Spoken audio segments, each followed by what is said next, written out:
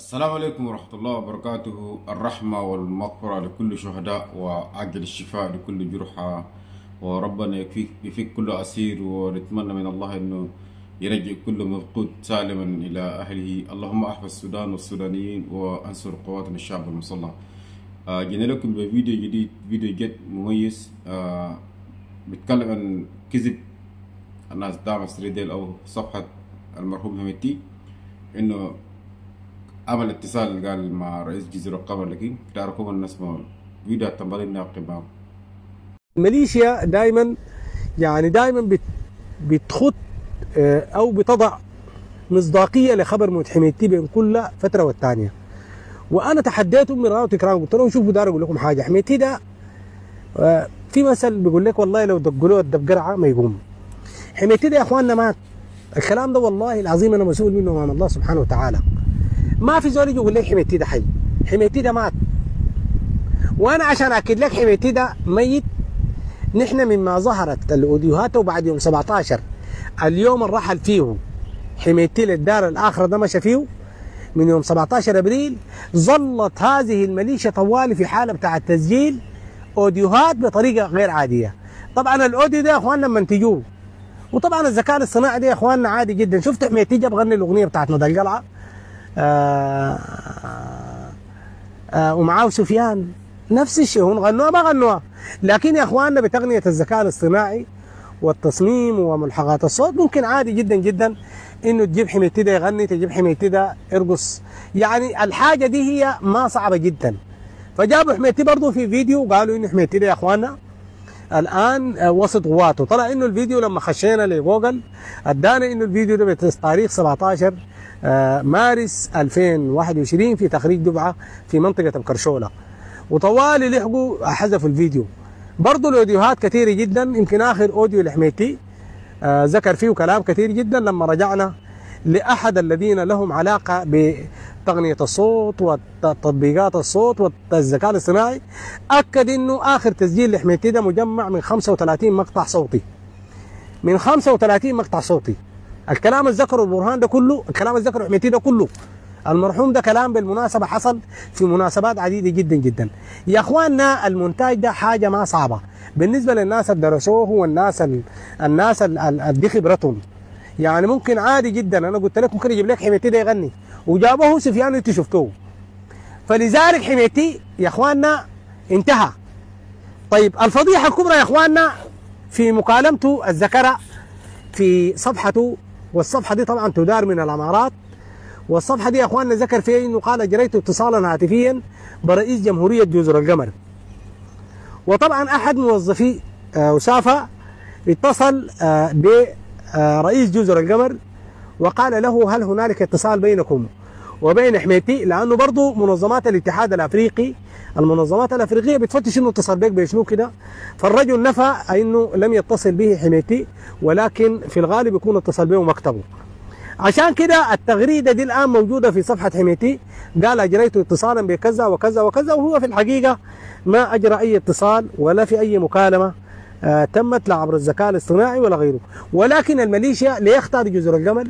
اختار جزر القمر نسبة لبعدها من السودان وعدم مراجعتها لكن تناسوا تماما إنه حميتي ده حتى الآن في يعني رؤساء في أفريقيا بيفتشوا انه الزول ده يقول له إنه طريقة بتاع التواصل. فلذلك آه، أحد آه، غادة أوسافا اتصل برئيس جمهورية جزر القمر وقال له هل اتصل بكم حميتي؟ ونفى رئيس جمهورية جزر القمر ذلك. وده كده معناها إنه حميدتي في ال bye bye إنما تدير هذه الصفحة أو تدار هذه الصفحة من دولة الإمارات العربية المتحدة. نجي للحاجة الثانية والمهمة نهاية قوات الدعم السريع. ولما نقول يا إخواننا نهاية قوات الدعم السريع بنقولها بالأرقام. يا إخواننا هذه القوات في اليوم الأول حينما هجمت القيادة العامة كان بعدد 600 تاتشر. وكان لما هجمت بيت الضيافة ب 200 تاتشر. الليلة نحن يا إخواننا بنتكلم عن كمية من هذه يمكن 11000 ولا 10000 عربية الآن الناس دي بتلقاهم راكبين التكاتك والمواتر والقوة دي انتهت وزي ما ذكر مقدم في هذه الميليشيا في منطقة الفتحات يمكن هو متواجد الآن اتصل عليه بعد. واحد من معارفه قال لي يا أخي نحن في الفتحاب المربعات هنالك من جاءوا قوات جديدة جاءت واستباحت بيوتنا اتخيلوا الرد بتاع المقدم قال له شنو؟ قال له إنه القوات الجاد دي قوات جديدة ما بتسمح كلامنا. ده الكلام اللي قلناه زمان إنه يا إخواننا قوات الدعم السريع دي لو انفرط العقد بتاعها من الصعب جدا حتى لو ظهر حميتي وقام من الغبر الآن مستحيل جدا إنه يحاولوا يسمعوا كلامه. الآن الناس الجدد يا إخواننا الدعم السريع هو انتهى. نكون واضحين. الدعم السريع هو انتهى وانتهى من بيتين. انتهى يا إخواننا أول حاجة مما انتهت الثلاثة ساعات الأولى اللي هو الجيش بدأ امتص فيها الصدمة. وكان يا أخواننا المخطط ده كان من المفترض إنه يتم في ثلاثة ساعات.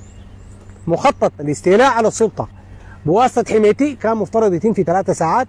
ولكن الرجل يمكن فوجئ بإنه ظل نوع من الامتصاص الصدمة الأولى. يعني الجيش امتص الصدمة الأولى والجيش تعامل مع هذه مع قوات هذه القوات المتمرده تعامل يمكن أبطل به ومفعول إنه يستولوا على السلطة ويمكن الكلام ده مشت ال 72 ساعة ومشت ال 15 يوم وبعد ذاك بدأت قوة الاطاري تزحف للخروج من هذا النفق.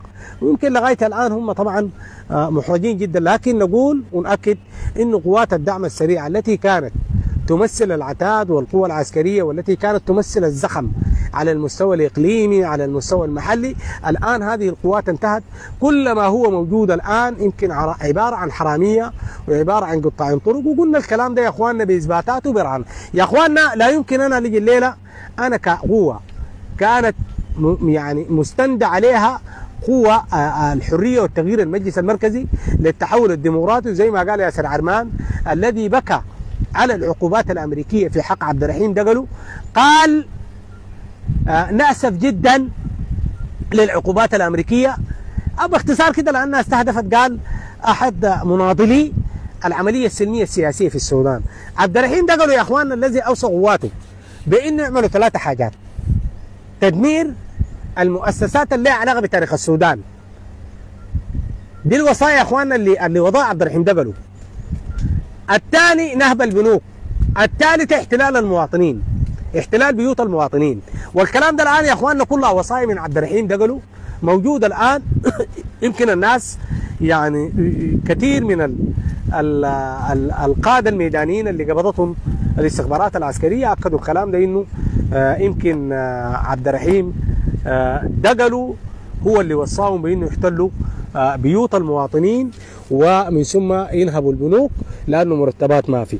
عشان كده يا إخواننا قلنا إنه جريمة عبد الرحيم دقلو جريمة حتكون كبيرة والحمد لله إنه سلطان المساليت الآن موجود في باريس وربما إنه تشهد الأيام القادمه إجراءات من محكمة الجنايات الدولية في حق عبد الرحيم دقلو نسبة للجرائم التي ارتكبها الجنجويد في الجنينه ارض متى وأرض المساليت والتي يعني وصفتها الأمم المتحدة وصفتها الولايات المتحدة الأمريكية بأنها جرائم ترتقي إلى جرائم الحرب وهي جرائم تطهير عرقي. الكلام ده يا إخواننا؟ لا كلام زول تابع للجيش ولا كلام لا الكلام ده يا إخواننا كلام الولايات المتحدة الأمريكية التي تستقي معلوماتها من أجهزة استخباراتية بتعريفها هي. الناس دي لو مركزين في العقوبات دي يا إخواننا لما قلنا إنه الدعم السريع ده انتهى ركزوا في العقوبات دي كويس. العقوبات دي شملت عبد الرحيم دقلو ليه ما جابت القائد العام لقوات الدعم السريع؟ محمد حمدان دقلو لو دققت الجريمة كلها طبعا دائما يعني أنا السنة الليلة جيت أتخذ عقوبات زمان لما اتخذوا لما اتخذوا عقوبات في حق البشير ما كانوا اتخذوها في حق نائبه ليه طوالي في البشير؟ لأنه البشير هو القائد العام وهو رئيس الجمهورية. واتخذت العقوبات في حق عبد الرحيم دقلو الأمريكان على قناعة تامة. ويمكن صرح أحد موظفي البيت الأبيض في الولايات المتحدة الأمريكية إنه حميتي ميت منذ الثاني والعشرون من أبريل الماضي. لذلك الأمريكان لا يعاقبون الموتى. ودي اخواننا سنة معروفة انه الامريكان ديل لا يعاقبون الموتى آه يعني لا يعاقبون الموتى فلذلك ما جرى الآن من عقوبات أمريكية في حق عبد الرحيم دقلو وكل التسجيلات الصوتية السابقة أكد بما لا مجال للشك حاجتين. الحاجة الأولى أن حميتي ما في والحاجة الثانية إنه القوات دي انتهت. والقوات دي انتهت من يعني بداية لو مركزين في الإشاعة بتاعت عبد الرحيم دقلو اشاعه البرهان إنه اتقبض ركزوا معاي بعد ما طلع إبراهيم بقال قال يا اشاوس ما تضربوا ذخيره لأنه دي إشاعة أطلقها الفلول اللي بيوجه فيهم ميدانيا منو يا إخواننا؟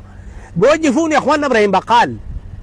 والآن عينوا طبعا أنا قاعد أقول له أنا داير زول الآن بعد مقتل عثمان عمليات داير زول الآن يطلع لي يقول لي يا أخي الدعم السريع ده فيه القائد الفلاني قاعد الآن إرشد. عشان كده يا اخواننا قلنا لكم من الحديث المقدم اللي عمله في الافتتاحات وقال إنه القوات دي الآن الدعم السريع الجدل يا اخواننا ناس بتاعين الشفشفة والحرامية. لك التحية والتقدير. كلام جميل جدا يا اخوان هو نازل ساقين الناس ساقين أهلهم أو ساقين جنجود البخالة انه هو بيصدقوا انه لسه قاعد عايش. وتعليمات جاي من محمد حمدان تقولوا بما انه صفحتهم بيديروا من إمارات.